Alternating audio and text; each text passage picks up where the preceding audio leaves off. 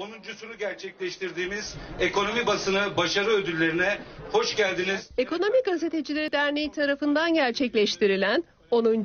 Ekonomi Basını Başarı Ödülleri törenle sahiplerini buldu. Bloomberg HT'den Sayın İrfan Donat. Bloomberg HT Tarım Editörü İrfan Donat, tarım ve gıda sektörünün nabzını tutan Tarım Analiz programıyla Ekonomi Gazetecileri Derneği Bülent Yardımcı özel ödülüne layık görüldü.